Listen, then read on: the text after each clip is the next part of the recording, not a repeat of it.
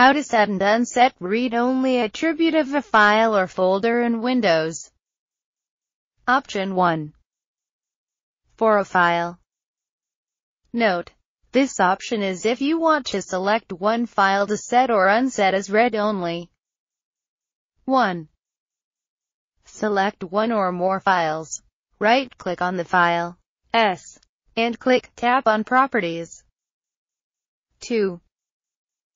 To set the file as read-only. A.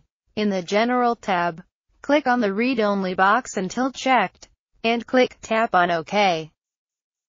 3. To set the file as not read-only. A.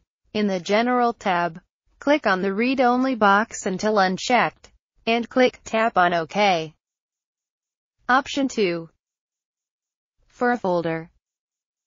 Note. This option is if you want to have all files in a folder set or unset as read-only. 1. Select one or more folders.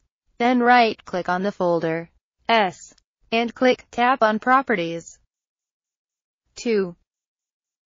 Click Tab on the General tab. Note. When the read-only box is blue, this is the default and determined state.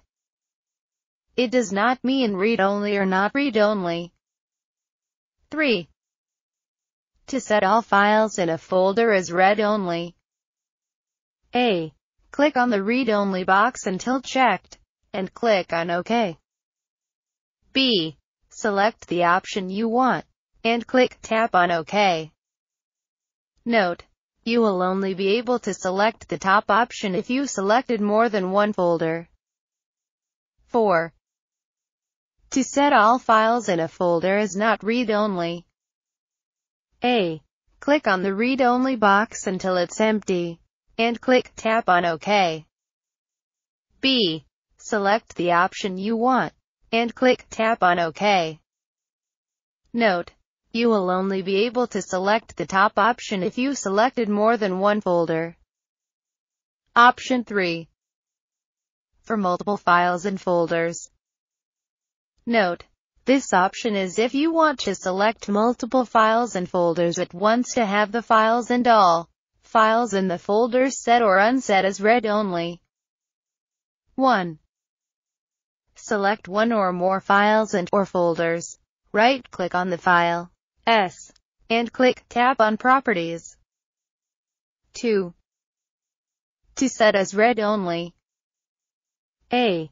In the General tab, Click on the read-only box until checked, and click Tap on OK.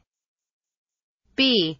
Select the option you want, and click Tap on OK. 3. To set as not read-only. A. In the General tab, click on the read-only box until unchecked, and click Tap on OK. B. Select the option you want, and click Tap on OK.